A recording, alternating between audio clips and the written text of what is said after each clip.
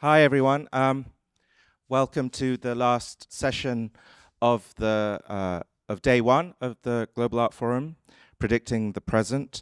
Um, and as a uh, as a way of introduction, this session is called uh, Sensing Prediction, and it came about uh, in a way through uh, a reflection that I I had and a conversation I've been having actually with Sissel for a number of years, really, I think since the beginning of uh, 2020, 2020 and the beginning of the pandemic, which is that um, we became phenomenally and maybe even more intimately uh, aware and self-conscious of our senses, of all of our senses uh, during COVID.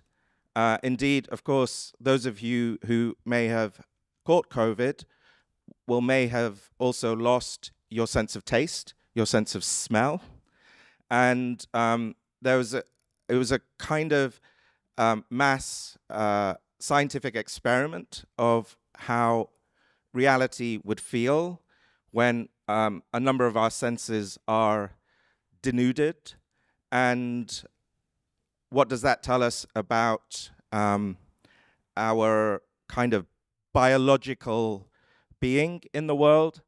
And also, of course, how that was that was happening simultaneously to our lives being forced to exist in the two and a half dimension, mostly on screens, where um, you know, two senses were mostly foregrounded, the sense of sight and the sense of hearing.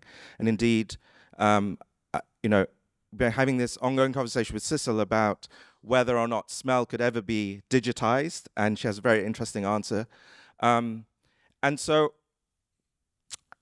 uh, and then we fast forward to 2023, and it's very, very clear that one of the sort of mimetic um, topics that have sort of equally crashed into our external and inter internal lives is that of artificial intelligence. I suggested uh, earlier uh, on Wednesday, actually, that even though AI has existed at the very least for 70 odd years, arguably hundreds of years, maybe even thousands, depending how you define it, um, there's a sense in which it just arrived a few weeks ago and um, and so you know I use that as a as a backdrop to uh, introduce and contextualize uh, two of our guests today, because I believe that both uh, Refik Anadol and Sissel Tolaas are kind of leading their fields, um, working across scales and contexts,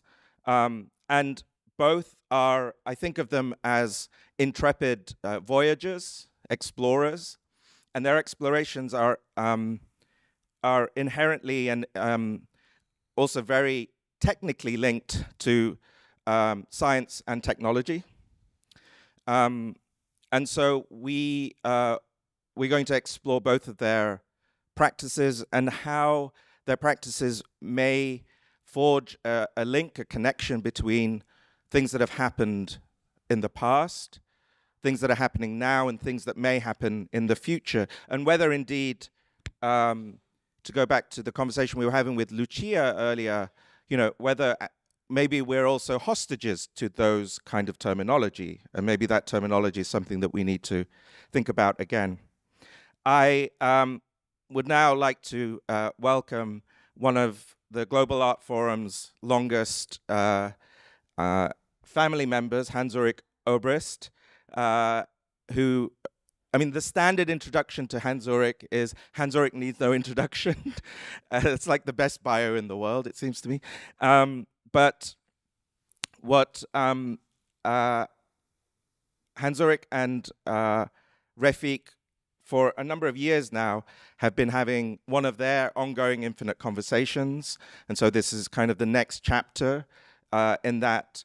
And uh, also, uh, Sissel has worked on a number of projects at the Serpentine, also with Lucia and with Hans Ulrich, and many different kind of initiatives that bring these worlds together. And to my knowledge, Sissel and Refik have never sat together on a stage like this. Uh, when when was that? In Venice, Venice, very very shortly in Venice.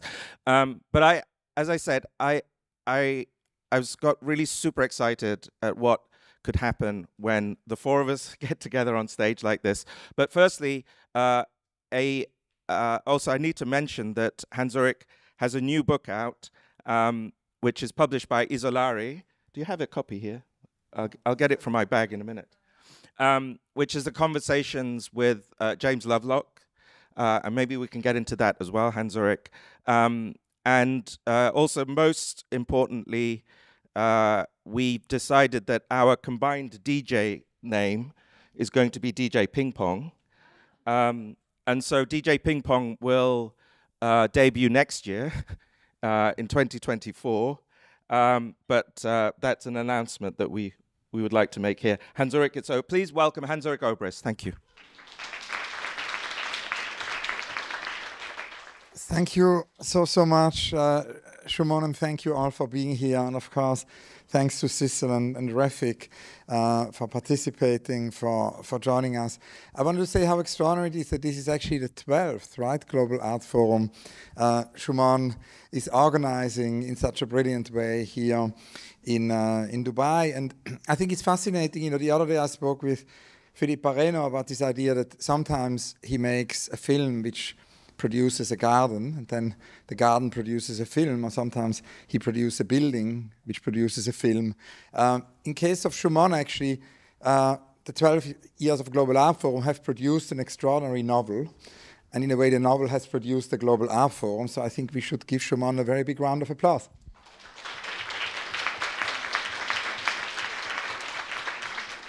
And as Shumon says, we want to talk today about the relationship in the past, the present, and the future uh, in the process of redefinition. And Refik's uh, amazing work, of course, uses vast data sets and AI to actually make computational works which are familiar and uncanny. We can see one, I'm sure those of you who haven't seen it yet we'll have time later to see it here in Dubai. It's a collaboration um, Refik has been doing with uh, Julius Baer, a collaboration also with the Serpentine and uh, actually Bettina Korek and I, Bettina Korek, the CEO of the Serpentine, who is here, and I are so grateful to Julius Baer and Refik for this amazing dialogue. And of course, Sissel, in a similar way, I mean, Paul Kleban said art makes the invisible visible, and uh, that's, I think, what one of the things you both do. And Sissel, in a pioneering way, invest, investigates the non-visible realm of, of, of smell, scientifically, politically, culturally, in many different ways. So I think we should give both artists another warm welcome.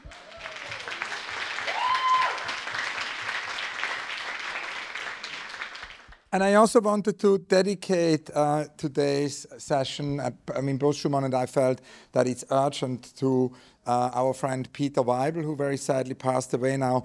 We cannot talk about art and technology uh, without talking about Peter Weibel because he has been uh, a pioneering force. And, you know, we often bring in the, the, experiments in art and technology in the 60s, but Peter Weibel's entire work is another of such an example. He brought together um, art and technology early on and we spoke actually earlier to Lynn Hershman Leeson, uh, who said, for example, uh, the legendary Lynn Hershman Leeson, that you know Weibel was the very first artist who recognized her work in terms of art and technology. So I think we really need to remember Peter Weibel here, and I know that Refik will do that as well at the beginning of his speech, and maybe that's a transition because Refik, I wanted to ask you to tell us a little bit about the extraordinary work you have created and are still creating actually um, for and with uh, Julius Baer, because in a way, I think it's interesting, and we'll hear more about that later from Sissel, because I think something is deeply changing in terms of the ontology of what an artwork is, and in terms of actually artworks being living organisms. Artworks, in that sense, are also no longer being finite, but in that sense, being infinite. Uh, I mean, we've been thinking about, you know, buildings like the Sagrada Familia being infinite, but that was a rather rare occasion. But today, uh, a, a, very big number of actually really important artworks created today are in that sense, you know, infinite. The work you are creating starts with an infinite amount of data, which you make visible. It has to do with glaciers. Uh, so, Refik, it would be great to hear a little bit about that. Yes, super, super honored to be here all together. I think the project is thanks to you, of course, that has a different take than our other projects. Working with AI for seven years, and mostly like working with big data sets was a comfort zone. And because we were able to download images, we all share our data. It's really not hard to download all this data. It's not really hard to hack your accounts. It's really like nothing hard at all, right? Just needs resources and bunch of code. But what was amazing that this project is really make a major changes physically being there to collect data, physically feeling the project, the importance of glaciers. As we all know, the 70% of the fresh water in the world is coming from glaciers. And they are constantly changing. You cannot even step on the same glacier two times. You cannot visit the same ice cave two times. It's the nature's incredible sculptures constantly changing by our reactions in the other part of the world. I mean, these living pieces are the reason we are, have a fresh water, and we are unfortunately messing them up. So when I go there, our methods of like downloading data or whatever that they have no meaning at all because this is the last memories of the humanity and it was a very heavy hit. I think this project is completely different than our other projects and we spent 10 days walk 8 kilometers every day with 50 kilograms of cameras did multiple like surveys with drones and lidars and NeRFs and whatever the update like recent or future tools. But what was heavy to me is different than other projects is being there again thanks to hans ulrich that incredible feedback physically there feeling the cold the cold of the temperature and understanding meaning of what we do has a complete different shift. And i really appreciate that moment of like going there with like a tour guide who had been helping nasa JPL team from the Eisen space agency. Like he showed us a point that we were sitting with our like all the gears. And he said 10 years ago he's a 20 years of tour guide said there was no way i can drive here. The whole things that you see here was completely glaciers and all melted down. That was a very heavy hit that not can be done in a comfort zone at home or like you know, you know hot machines or whatever cloud computing. That was a very heavy hit. I heavily advise everyone if you're interested to learn about what climate change means. There's a hard evidence physical on earth that doesn't need any explanation at all. It's pure fact of a melting memories of humanity. That was a very heavy hit honestly. But thanks for the opportunity that we are diving into this. Bring attention and make meaningful purposeful work and can you talk a little bit about how you actually base that on an ever-growing archive of uh, a very big number of images and uh, how you then develop it uh, with AI into the work? So uh, last seven years, we heavily focused on collective memories of humanity, never inspired by personal data, but the idea of like things hopefully belongs to humanity, like space, nature, culture, urban, things I hope that matters for humanity. And it was an interesting research because the comfort zone of AI is like we can download any data or any, any data set, but doesn't mean they represent what we want to do, right? So cleaning process, like understanding the archive or knowledge, or in that case, memory, was a really inspiring research. And over the years, what was really easy is like we find more than 3 billion images, but doesn't mean that it's just finished there. Like there's a, a lot of work on the curating data, can be image, sound, or text. Uh, and then we just really try to craft algorithms over the years.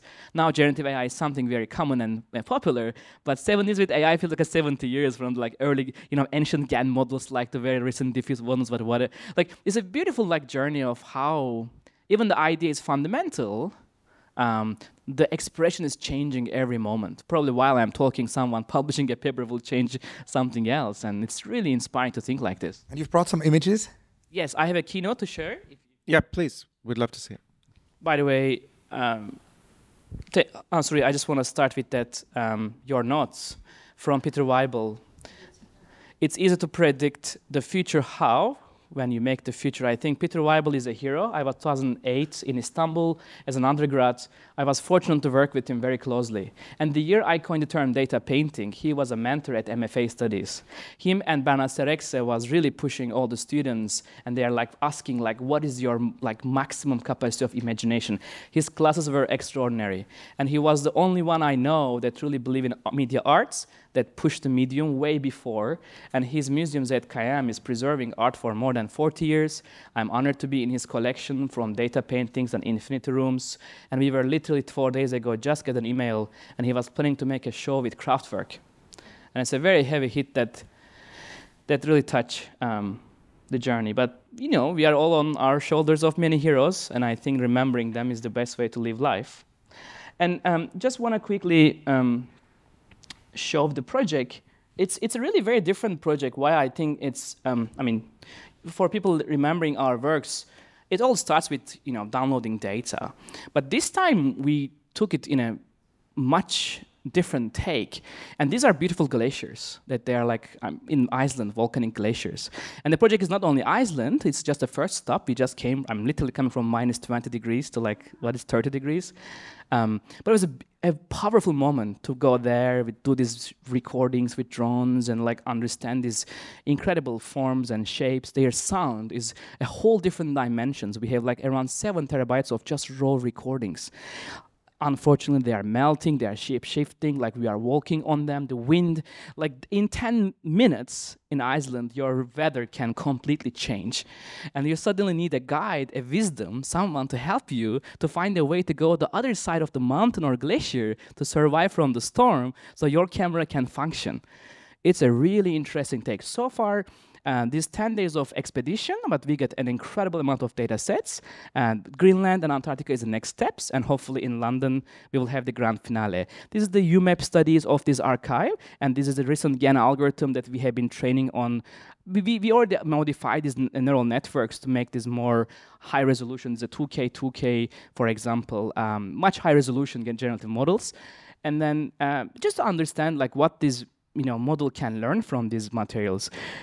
And in Iceland, there is 269 glaciers and incredible forms, and they are like so diverse and different. Like in one kilometer, you see something whole different types, and I found them very inspiring because.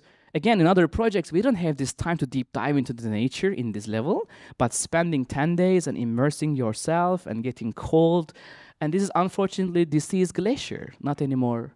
Uh, you have the glaciers. Like it was a very interesting um, feeling and I will say the project is not only stops here, and we are trying to learn about, like, for example, the, this water, this space is ice caves. I mean, we work with immersive environments, and they are like the reasons of this fresh water that we all drink as humanity. Like going these fundamentals before recording data and have the depth and discourse and context was really powerful. And I heavily advise for anyone researching with AI. I know we are all in comfort zones talking with ChatGPT or Midjourney or Stable Diffuse. I don't believe they have truly meaning unless you understand where data comes from. Um, and I think this is a really interesting take on the ethical issues about data, like where this you know information comes from, how can we have a clarity, are we really on the piece that we create with AI, is this the answer to like many questions that rightfully many creators are asking? We just want to also find these questions, but also what is amazing, the blue tint comes from the depth of the ice, uh, ice glaciers. Uh, there's no red uh, spectrum over the like thousands of years. It's basically seeing these time machines when you dive in the ice caves. And ice caves are unfortunately not never the same. Like next year we will go there, they got bigger or different forms because the climate change is giving a new heat form and they ev every time changing. These are the fundamentals of the artwork. Um, what I want to say today is like, um, again, thanks to this project, it's a great to be go uncomfortable zones and change the behaviors. And I think AI means most likely a comfortable zone that will make most likely humanity very lazy. Uh, I'm 100% sure many people here writing their resumes or whatever is in ChatGPT, students are already on their like mindset. I am personally using it a lot for emails. I mean, but it's very I think important time to go back to fundamentals. For example, the reason we work with the Yawanawa people in Amazonia, in we don't want to make it just a rainforest data set, just dumping like whatever ready data sets. I don't think they have any more meanings at all they are cool, they will be functioning. Spend 200k, you have the stable diffuse, but what does it mean? Uh, I think this is a very important time for creative people. I hope that we will ask these questions deeper to really make the change. Um, otherwise, we become these weird robots of machines that making the same thing over and over again. So, I mean, again, um, I think every project has a depth and a meaning, but I really hope that everyone working with AI and spending their time with these tools and machines and algorithms have the same sensitivity and depth that hopefully make the world much better. Thank you so much, Refik. Thank you.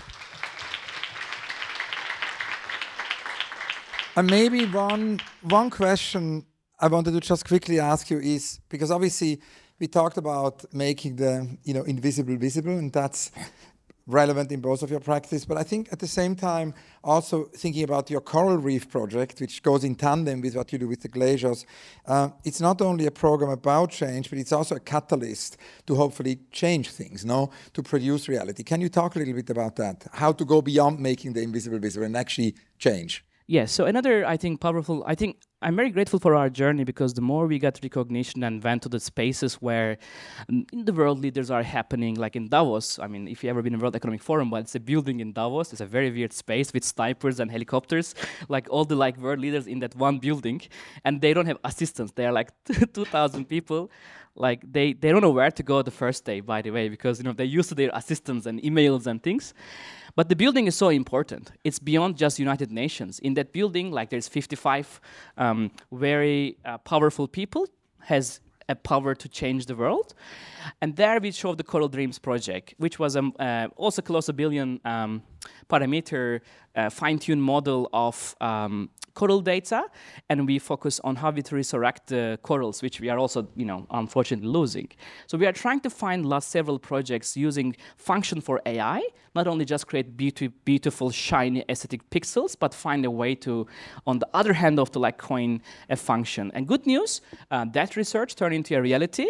A United Nations Ocean Preservation Team and four countries allowing us to really 3D print those AI-made corals, put them underwater to try to resurrect the nature that we lost. So I think this ecosystem of artificial realities is becoming a much inspiring than at home just interacting with ready tools. Thank you so much, Refik. Um, now I'd, we'd like to uh, bring in Sissel Tolaas.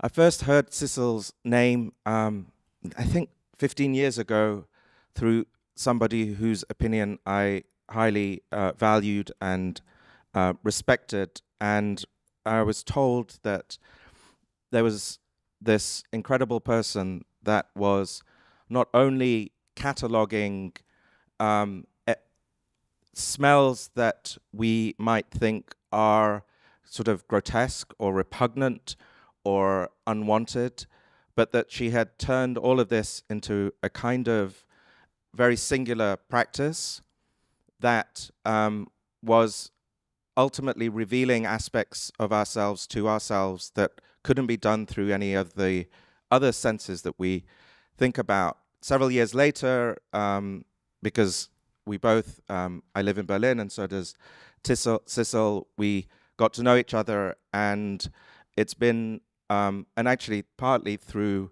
I guess, the Museum of the Future uh, was uh, a, a, number of um, sort of workshops, uh, sort of brainstorming workshops that were organized by, by Noah Raford a number of years ago, um, brought us together. And, uh, you know, ever since then, uh, I've had the privilege uh, to have also another kind of continuous conversation with, with Sissel and to see her um, research, which is grounded in very hard um, science, chemistry uh, background, but then has um, morphed and evolved into uh, a practice that, again, is completely singular um, and unreplicable, uh, I think, by anybody else, and has caught the attention of uh, Demna at Balenciaga, and so Sissel has become a uh, a collaborator, part of the kind of inner network of the Balenciaga brand over the last few years, and she's had an incredible. Uh, uh, I, am not going to. It, it's not a retrospective, but it's a it's a it's a using um, museum buildings such as in Oslo or in uh, Philadelphia to create these living organisms. Actually, I think living ecosystems where um, the kind of currency of smell is explored um, in sort of multitudinous ways. So, um, Sissel, I would like to uh, invite you to tell our audience a little bit more uh, about what you do and about your worldview. Um, and if we could have Sissel's presentation up, that would be great. So, but first, can you join me in welcoming Sissel Tolaas? Thank you.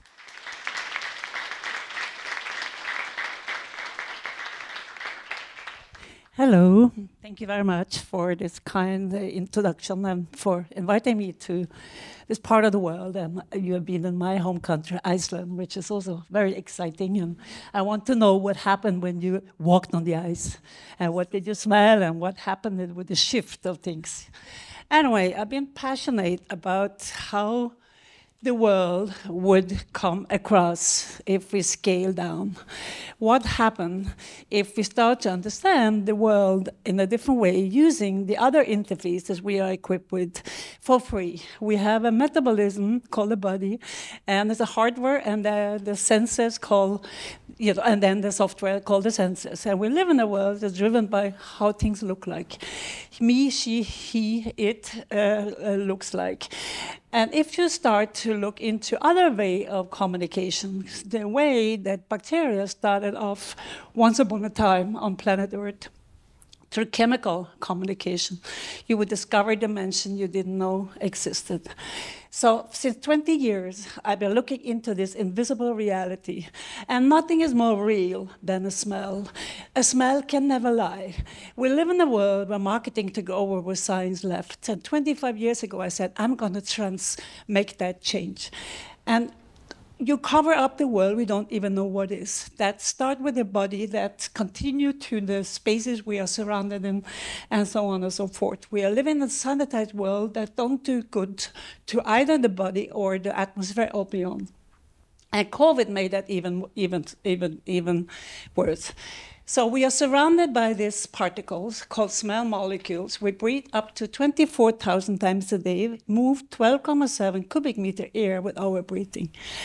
Air is shared endeavor. We all contribute to this, but we don't know what it can do with you, what it can contain, and what this information actually do to the body and the brain. Smelling, the process of smelling is the quickest process in the body and in the brain. Two synapses, you activate emotion and memory. That's quite amazing. And if we have nothing else, we still can breathe. And the smell inhale by every breath we do, and it does something to us beyond our consciousness. So, understanding what chemistry is in terms of chemical communication and various species is the essential to what I've been doing for 25 years. So, these are the various journeys I've been doing. And if you provide the brain with any kind of information, it makes sense out of it. And put out a spell, and you will be understanding that very setting beyond your imagination. And your tolerance toward it will also be challenged in a very interesting way. So micro macro reels is my topic of concern. Showing up is half my job. Being in the field, smelling it first myself is really what I do. I really show up. And this has happened across the globe. I'm from Norway, partly Iceland, and I started off on the west coast, very curious about the elements, uh, what the senses, what kind of information all the senses can provide me to understand the very context I am in, and the issues of concern in that very context. So, 2002. I got aware of an industry that had technology that potentially could enable me to go beyond what my own nose were able to do. So I took this technology out to reality. I brought it to Iceland, Greenland, and started to collect molecules emitting from snow melting in the middle of the field.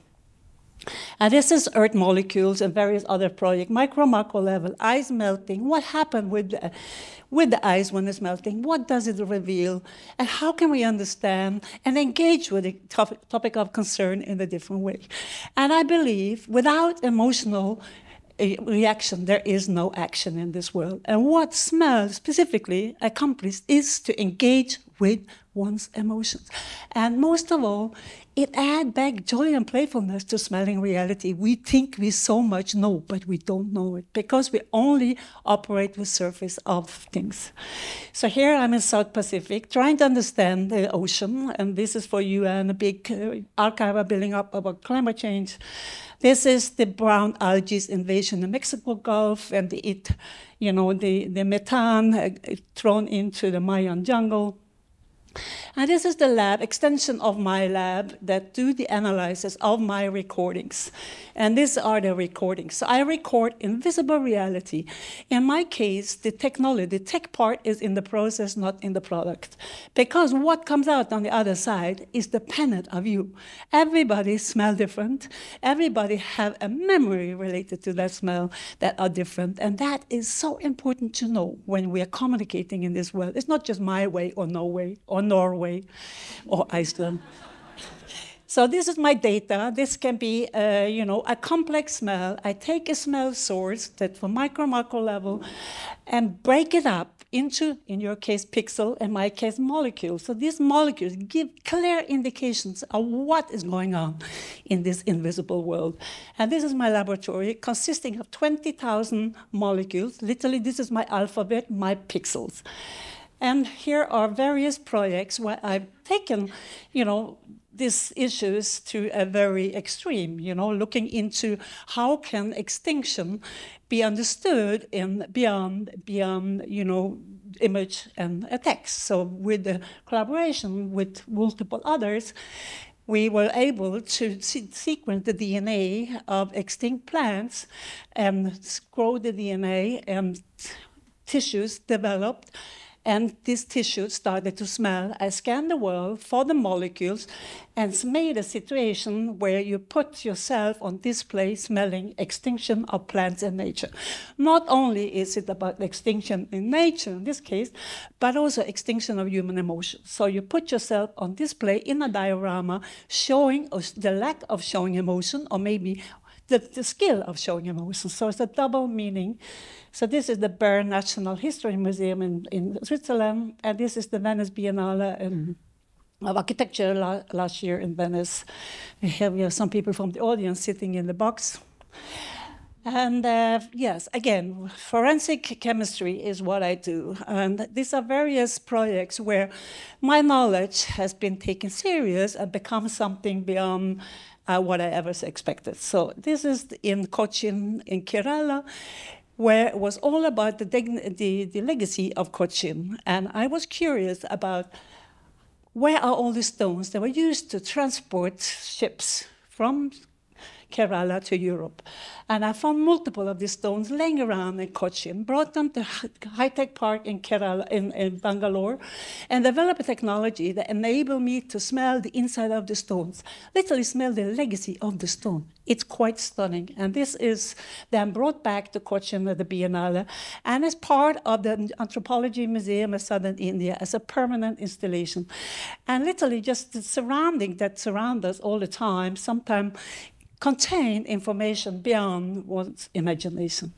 This is a recent project I'm doing now for UNESCO with the Nicoletta Ferrucci Foundation, a smell heritage archive for Pompeii, looking into what kind of information could be hiding in the ruins that we never ever thought would be there. So here I am in Pompeii together with archaeologists. And that's not only what I will potentially uh, discover when they reveal the strata of AD 79, but also the conversation with the archaeologists and geologists, etc., on the site, like, oh, we never thought about, about you know, smelling when we are revealing. We are always looking for something, but now, you know, we also potentially also could smell some some some other dimensions. So these are archives and this is another uh, project I've been working on for many years, looking into the body.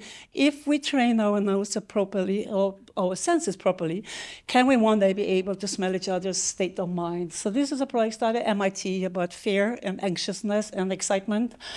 And I replicated body sweat from anxious men that was very scared of others for various reasons. The replicated nanotechnology embedded smell was placed on the wall, became invisible people. And the only way you could activate the person's smell was touching the wall. So these, these are are invisible uh, graffitis of anxious men, and you're doing to them what they are afraid of. Again, raising questions about serious issues, and are moving image away and just taking a person and the interaction between people. This is Singapore. Normally, you don't see Singaporeans like this next to each other. we have a few in the front row. And uh, this is uh, Minsheng 21st Century Museum in, um, in Shanghai. This is the wall after three years of emotional re reaction and action. And it's another project, a molecule for Tania Bruguera's commission, Hyundai, at the uh, only purpose of the molecule was to make people cry. And people are still calling me and say, listen, give me the molecule, I want to start to cry properly again. Again, recording, replication, reaction. So rec recording, replicating reality, taking it out of the comfort zone, starting to ask questions, showing it compl complicated uh, issues in, in a playful way is what I do. But how do I talk about that? Yeah, how do we talk about smell, which is the most complicated part of the whole issue with smell, because there is no language in most languages. So since long, I've been trying to look into, and my smell, it's smelling is also aerodynamic. It's air. Without air, you have no sound. So for, for, for a long time, I've been looking into how can we potentially build up a lexicon around smell. So this is the Istanbul Biennale where I, I, laid out smells from the city, had scholars and people out in the field tracking and mapping the, the, the smells and trying to express something phonetically towards the smell. And long, long, long story short, I built up this, this massive archive. This is in Korea, South Korea, and the project been going on for 25 years. And these are some of the outcomes that are then presented in various contexts where I show my work. So an attempt to talk about things in a different way, beyond semantic and semiotic, the way we do it. How do we talk about chemistry? How do we talk about invisible, you know, beyond the, the conventional? So this is a way of, of, of, of, approaching. And the latest part of this research has happened now with, with Oslo, uh, the museum in Oslo and RCA, uh, ICA, where I developed a software.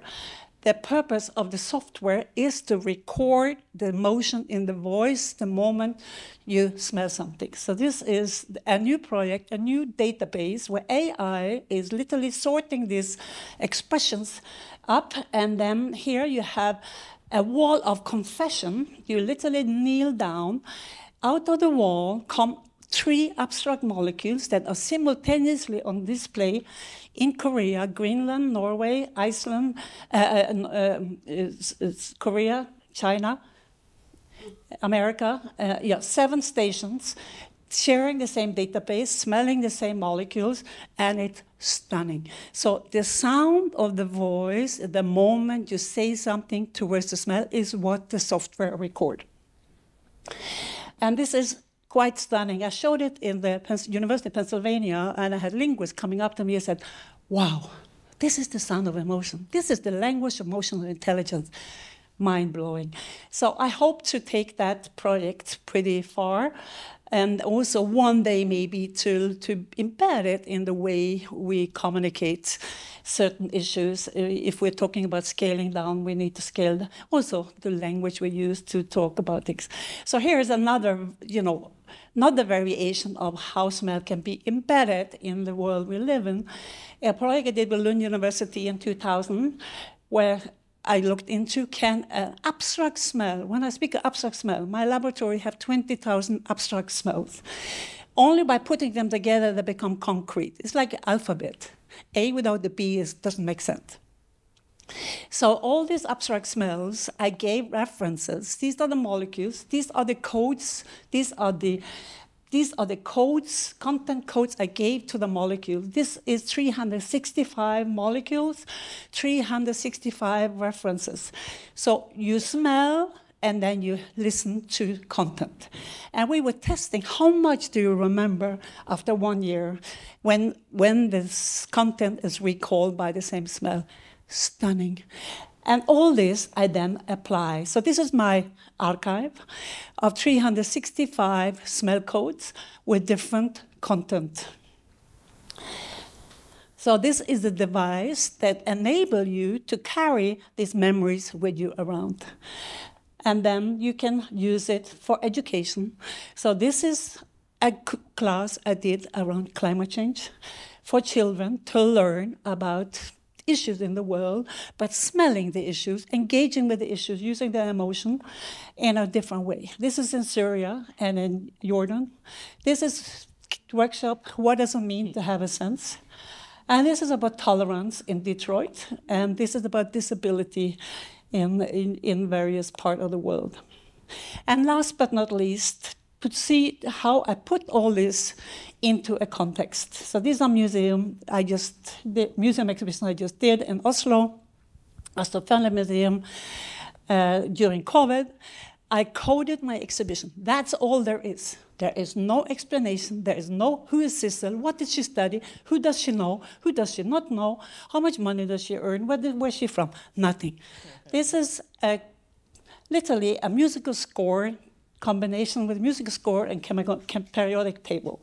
So every legend have a meaning. Every legend have a group of research it, and the numbers and in each legend refer to the years the, the archives and the research started. The first thing I ask for is the air, the piping system. So what I did in the building, looking into the building as a, as a living matter, like biology, and I asked for the air and the piping of the museum, and I hacked the air condition. Mm-hmm. I laid out my work according to how the air was blown through the building. This is Astrup Fearnley Museum in Oslo. This is me in, in the process of taking down the walls because I didn't know it COVID would allow me to go inside the museum. So the white wall inside became the the outside wall, and inside outside wall became the inside wall, turning everything upside down because the world was upside down at that time. So this is the outside, and this is one of the richest countries in the world, world in the world, in the world. You know, where shiny and is is the is is the way of you know communicating wealth, and I wanted to show the imperfection and the flaws underneath the shiny surfaces. And in Norway, we think this wall looks ugly in the outside, you know, because the weather did harm to it. But when it was put inside the museum, I said, wow, that's actually beautiful, yeah? So this is the white wall outside where the scary men are, um, are embedded on the wall. This is the piping system where I hacked the air condition all over.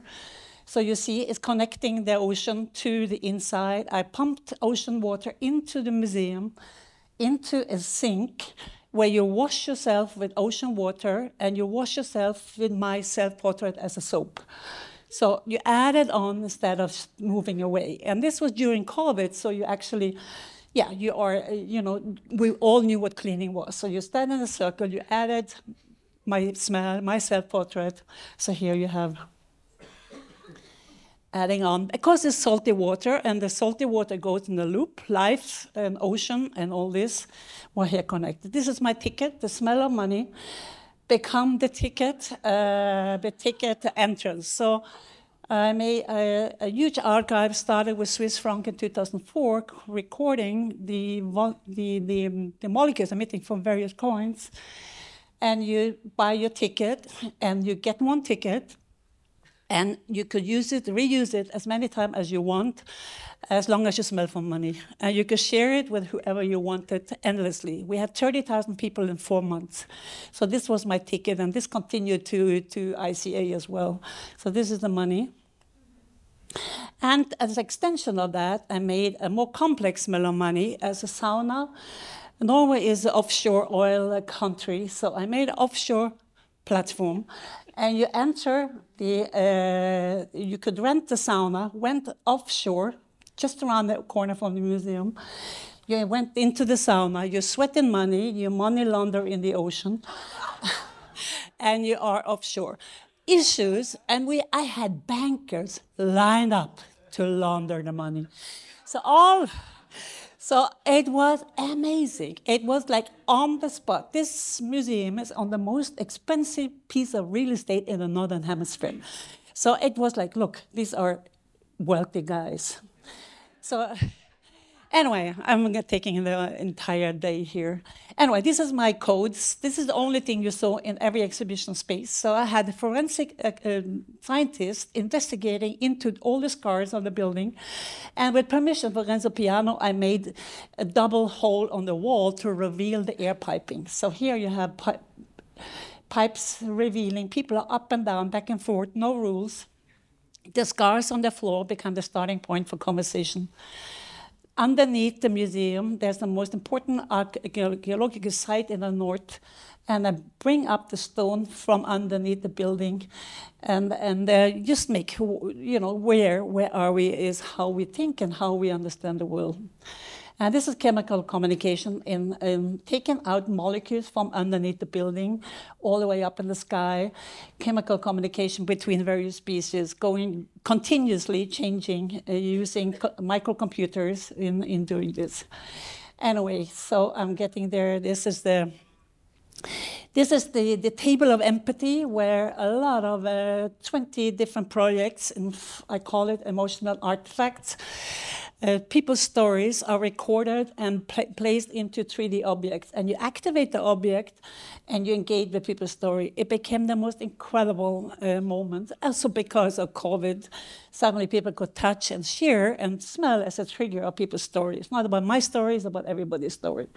So, these are various sites from the museum exhibition, and then I'm not going to go into all the, all the details, but here you have the last room at the museum just before you go to the bathroom, before you leave. You have uh, uh, leaflets, you can reveal the codes, get some information about what the research has, is all about. Anyway, this is Balenciaga. I've been working with Balenciaga for the last five years, made smell for the European Parliament project, Greed, Greed uh, empower. Uh, these are various projects. This is about climate change and catastrophes. Uh, they're walking on water.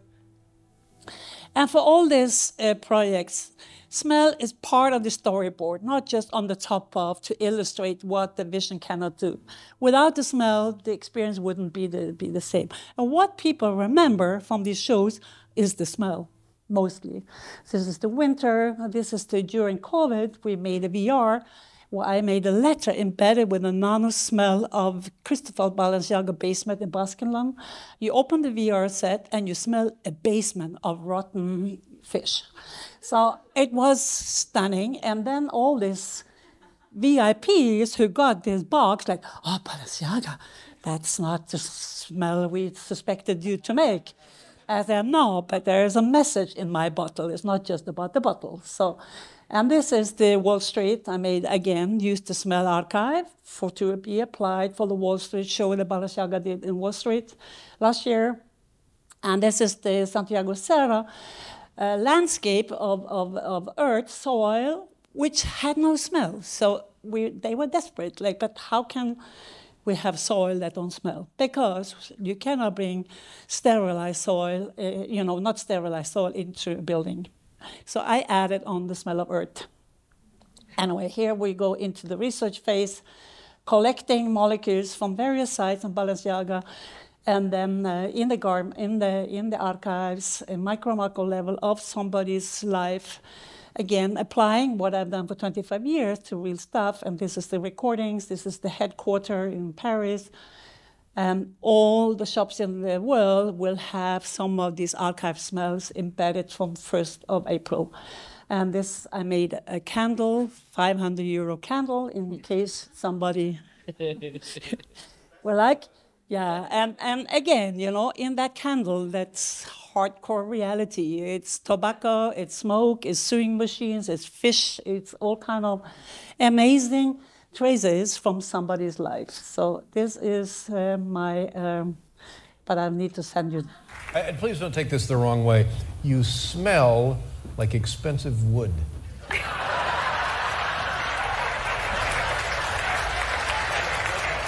What is that? It's, it's that that is the most unique compliment I've ever oh, gotten. It's, That's it's what that good. is. And believe me, it's very good. It, I've, I've, I've, never I've never had a little of that before. It's just it's a very very subtle. Anyway, if we can place our messages in that kind of context, maybe the mission can be accomplished. And with engaging with people's emotion, be sure, never forget.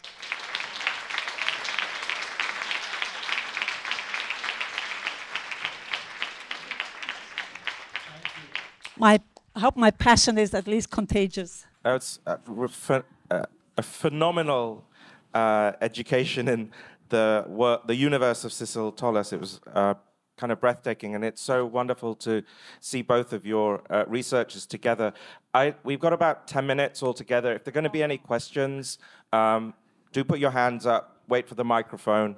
But I, I think Hans Ulrich and I really wanted to ask about this um, very misunderstood term, uh, and I mentioned it in the introduction, which is artificial intelligence. And um, the, there's a there's a piece by the um, science fiction writer called Ted Chiang. I'm sure many of you know him. And he published a piece in the New Yorker uh, last week, actually, which is called Chat GPT, Chat GPT is a blurry JPEG of the web. It's one of the best uh, pieces I've read. Uh, interestingly, like yourselves, Ted comes from a technical background and actually spent 20 years uh, in parallel of becoming a science fiction writer, writing technical manuals for Boeing and, and, and Microsoft, etc. And so the way in which Ted um, approaches a subject is surgical. You know, there's something methodical, robust, cumulative. Um, but his, he has, I think, a really legitimate critique of these large language model AIs. We can't put all AI models into the same category, but ChatGPT is, an, uh, is the latest and perhaps the best well-known uh, example of a large language model, which relies on, of course, in a sense, uh, you know, the entirety of the internet up till fall 2021, I believe. But it is what is um, understood as information there, it's text, right? It's, it's a sort of text-based, language-based um, idea of, uh, of, our, of the entirety of our knowledge or of civilization or who we are, etc., etc. And Sissel, you know, what you do, I think, is remind us that that is just one very small fragment of really what we consider to be, what we should consider to be the totality of information, the totality of our history. And I'm, I'm curious to imagine, you know, what could there be an AI that would be built on smell rather than, let's say, large language model? What would that be? You know, you know, I I tend to defend the sense of smell as a, from the perspective of, of uh, all kind of animals. You know, mm-hmm. humans are the last one in the road of skilled uh, animals to identify smell. Elephants is my favorite. 2,500 receptors. Dog one 900 bees, 1,005 human, 400. Yeah, and you know the sense of smell is very complex. Like you saw in some of my recordings, it's just a micro level of the molecules out there that I'm able to to grasp. You know, also because the technology, technology, existing technology, has never really been interested in understanding what I'm doing. Yeah, they're rather been uh, interested in covering up what they don't know. You know? So so I think it's, uh, and also not only being able to record, you know, what I record correspond to my database, yeah? And my database in this case are 20,000 molecules. So recording, replication is dependent on each other. But there are trillions and billions of molecules out there. So whatever, how do we make sense of this? We have to start somewhere, you know? That's what I'm, I'm you know, in terms of scaling, I think it's here very important to. We need to to uh, we need to kind of make the the the, the need we we get the need out there to look into how to do this in a different way and why, you know. And uh, yeah, the purposes has to be right so that we get enough, you know, interest to be able to do this properly, and then maybe one day you know, but there are. I mean, I did my talk at MIT in 2004 with the FAIR project. I was approached by CIA if I could help them smell a terrorist by their smell. And now, yeah, I tell you, they offer me fortune. And and and, and I hope uh, you said yes secretly. But I, of course not. but, uh, but not telling DARPA. science. DARPA is doing that. You know, they, I mean, that's how they get these ideas. You know, MIT is sponsored by the army. So anyway, but anyway, I think it's it's it's a long way. I think I paved the way. 25 years working with the industry, trying to challenge the existing knowledge for other purposes. But again, bringing this technology out in the dirty street, in the garbage depot, you know, has been a massive, you know, movement. You know, you have electronic noses that are used by NASA. You have all these kind of tools, but they are specifically for target, you know, molecules in in situation where you normally cannot put, uh, you know, on your nose. Yeah.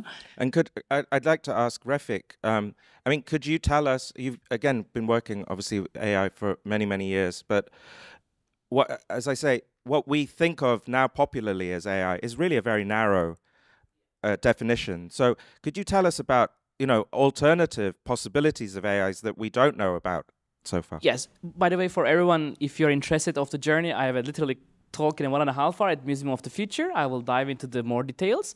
But what is incredibly inspiring is with Sissel's research because she is collecting her own data, and which is fascinating. I've been working last three years with Firmenich, which is well known, probably the most largest scent and taste company who is behind all the famous perfumes. And they have an AI called Charlie trained on half million molecules, which is not bad. I mean, you, you have 20,000 for over the years, and they work with this. But what was interesting is the context, right? Because you are bringing this context and the reasoning through this research. Your curiosity and motivation. But when you Oh, Sorry, I just correct you. The, the, the amount of molecules I'm recording is billions.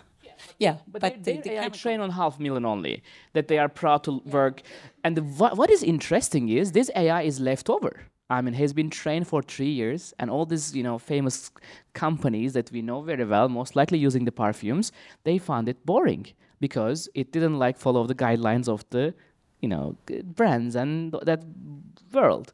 And then this ai is very weirdly doing nothing and then we start like work with it. It's basically a recognition of like images and it can come up with like very image recognition text basically. Let's say it's watching the iceland or some kind of ai dreaming landscapes or you know glaciers and it can come up up to 34 molecules which is already enough to create a kind of a sand but it doesn't know what is a value and it can create very expensive molecules which you cannot use in the life so this is a really interesting topic. I've been like last three years researching and respectful. That's why I was so fascinated by the how incredible data set of sand. Um, anyway, uh, but shortly, I think AI right now is only focused on like products and services, right? Everyone is trying to make an unfortunately quick way of like making it accessible with the goodwill, but then turns into like product and service. And I mean, image to sound, sound, I mean, image to text, text to image, and most likely, you know, sound may come, sound may come, taste may come. I, I- think it's just an inspiring time. It's like witnessing the birth of internet. Um, it's not so different. Maybe I don't know your age, but I mean, hearing the like, I'm just curious. You talked about shift. yeah, What do you mean? the shift of like, Now, when you walked on the ice compared to sitting in the studio looking Yeah. at it, I mean, so phys- what physical, impact will that have on your next step? You physical think? quality of life, like retina experience. I mean, it's by the way, it's hundred percent sure that the future is all about real, what is real or what is not, right? I mean, pretty much all about like which will make the most real thing ever.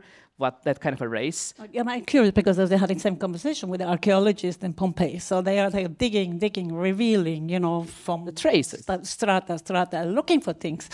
And when I said, listen, with the moment you start to smell what you're revealing, does something change? Hundred percent. Or just like a, a like a Newton apple falling on the head, like wow, we never thought about this. Absolutely. All the senses in the moment discovering the past. What consequence will that? Will we write the protocol differently? Would, t- would the history look differently? You know, who's telling whose story here? You know, I think this is a lot of what what this all about. Beyond semantic semiotic, what kind of story, what kind of language, what kind of coding, what kind of system of communication we're talking about? If we are talking about data, big scale, even in the world of, of small molecules. But I think the whole idea of a little bit Borgesian sort of right, Library of Babel, like one day, hopefully, or everything we are preserving like life right now, like can it be a space where every single human, without any borders and barriers or usernames or whatever's or Web3 logins, you have an access to go through this door and you have everything that exists. I think that sounds sci-fi, but I am 100% sure it's doable. It's a collective research, but also very interesting is like, I don't know how realistic this is from now on, but I think creating a collective memory for humanity is really powerful idea. And uh, at the moment, if you think about like 10,000 years later, when they excavate this building, most likely they will find these weird, like boring, dark, dark machines, right? What we do with them, which is our traces, are not anymore traceable. So our usernames and identities and Web3 logins are exactly the reason most likely our history will not be recorded as we imagine. Most likely 10,000 years ago, one, uh, you know, excavating are bringing more information than most likely who we are. I mean, this is a fascinating topic to think. Yeah, and that leads us to something which I think is really relevant, which is in order to give justice to your work, right? I think we need towards the end of this panel to go beyond the exhibitions because I think what, you know, when Shumon had this idea of bringing you both here together, of course, AI is a common ground. But I think another thing which is common ground between the two practices has to do with longue durée, as Fernand Braudel says. It has to do with long duration. And I think we live at the cusp of, of a moment where we need to go beyond event culture. Roman Krznaric says, you know, we need to liberate the world from short-termism. And that means we need to look into longer durational formats. And it's not a coincidence that at the moment artists are more interested in doing gardens, literally and metaphorically. I mean, we did at the Serpentine this AI garden with Alexandra Daisy Ginsberg. We worked with you, Sissel, on a project where you also developed ideas for the park, which we hopefully can develop on a longer you know, duration level. And the same thing is very much true for you, Refik. You, both of you have also architectural projects which go beyond exhibitions. So I think it would be very interesting to hear a little bit more about that, about your practice beyond the exhibition, how you work, for example. I mean, Sissel, you've just done this amazing thing at the ICD in Philadelphia, where you literally deal with the idea of a building and I think public art is going to become more important again because public art is not event culture. Public art is always there. It can be there for a long time. And I think particularly with technology, it's really, really interesting if you think about the work being a living organism. You know, I kind of grew up in Zurich and I would always every week be at the railway station and see this Mario Merz piece, you know, as a kind of a commission and it never really changed. It's still there, which is great, but it never changed. So I have often been thinking of what would happen if we had actually public art, which would change. And with both of your work, where the artwork is a living organism, I think it's predestined to be the public art of the future. And I think it would be great towards the end of the panel to both hear you speak about that and maybe about some of the projects you do with architecture, with gardens, with parks, with urbanism beyond the format of the exhibition, realized and also maybe dreams. Things I think it's always interesting to hear artists also talk about unrealized projects because we then can help to make them happen. So yeah, it's a long question, but it would be great to both hear you about that you know, I'm, in my case, you know, all my work is somehow uh, taking place in reality and try to amplify what is, or you know, to to decontextualize reality, and and I've done a lot out, uh, you know, uh, in the in the in open. Also, what I'm doing in Pompeii is going to be something like this. You know, the area where we are doing excavation that are becoming accessible um, for the audience, uh, you know, in the, in the context of the ruins. Yes, I mean, uh, yeah, I, I, I, don't know what to say because I, I, I work between you know, I never really seen myself a kind of artist artist. I call myself a professional in betweener because there is smell everywhere and all the time. And you know, any any topic in the world can be looked upon from the perspective of smell. So, you know, education is one thing. I do a lot, and I do a lot in scientific research. I work, you know, commercially.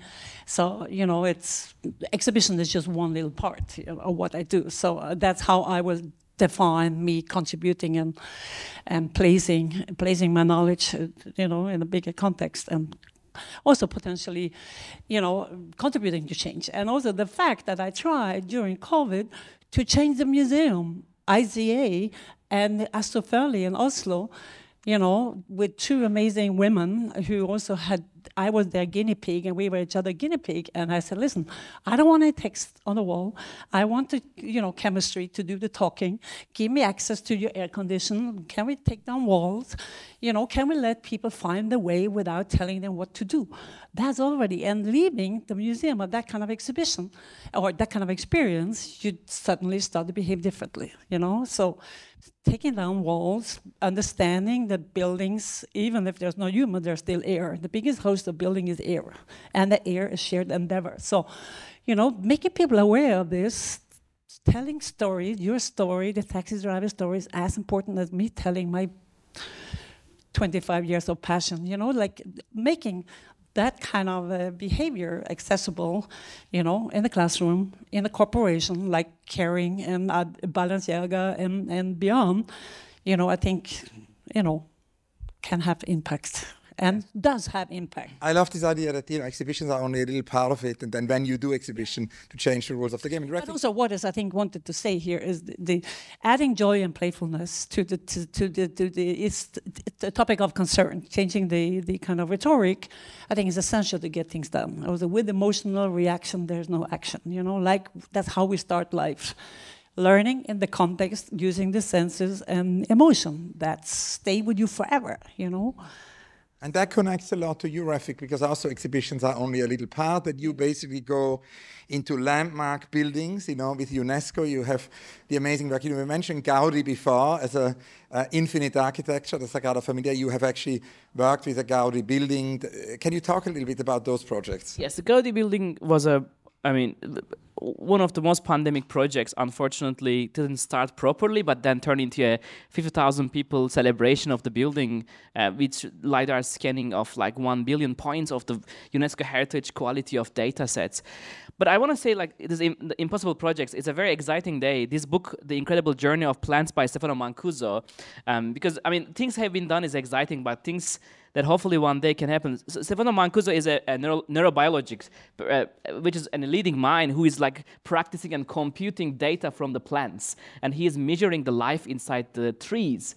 And so, and this book just came from Nikolai this morning. Very funny because I've been deeply researching the idea of like making invisible visible through these these plants, and I've been heavily inspired last several times in Amazonia Acre with one of my friends in so I just want to dive into the nature, like not in a surface, but really with the jaguar sounds and the snakes, and like going deep to this life in a way that when we just don't have this biased world and the things we construct around us, and going back to fundamentals are bringing a massive inspiration. So I hope for everyone, if you have a moment to like go back to fundamentals, I highly believe the life is more resourceful when you come back to what we have here. So this book is amazing. I hope you can enjoy and, and deep dive into the invisible world of plants. Very last question. I know we're out of time and we promise that this will not be a marathon. However, um, I see a lot of young artists here also, and I thought it would be kind of, given your immense experience, be exciting uh, to kind of hear your kind of answer to the Rainer Maria Rilke question. You know, he wrote this beautiful little book, which is advice to a young poet. What would you both advise a young artist and art student? Discovery is what you do when you don't know what you're doing. I think the best way of um, going through the deep journey is recognizing the shoulders of the giants we are all on. I mean, the more we have heroes and mentors and teachers, the more we recognize them the more what we do makes more meaningful and purposeful. And the second thing, defining success was very helpful for me. Like, to me, success is super simple to define, making dreams real. And I think this helps us in a very mental health space, much, you know, confident bef- before like bringing, try to get values or whatever and other things that has barely have meaning in the long run. But in the short run, feeling connected with the work, I found these two things powerful, and I hope you can also enjoy your mentors and their support in your journey. And I think it's also very important this the issue of confidence. I think if we somehow accomplish to bring back confidence to all mankind, the world will be better. And that's very much to do with to, to kind of, you know, appreciate that you know um, the fact that we are all are equipped with the same starting point. You know, the body and the senses, all there for free. We just need to activate it for the right purpose and not only look at the things and think we understand. So, starting to look into one's skill as a toucher, as a smeller, as a hearer, as a taster, and start to make those topics important. Put them on the dinner table. Smell the dinner rather than eat it. Smell each other and ask questions. What did you do last night? Why didn't I know this? From a different, you know. And it just changed the mood. And it changed the same with, with climate change, with inequality. That's what I do with the smell like new wood. Yes, she was smelling like rotten wood, but on that person and smell like new wood. So, you know, change perspective and play with the senses because the senses are meant to be played with and understanding the world using the senses add back joy and playfulness. Thank you. We have come to the end of day one of this Global Art Forum. Um, I hope you agree with me. It's been a really extraordinary journey through uh, ideas, through kind of imagination. Um, and really, the last thing I'd like to ask you all to do is to please thank um, our amazing guests, Sissel Tolaas, Refik Anadol, and also Hans Ulrich Obrist. Thank you so much.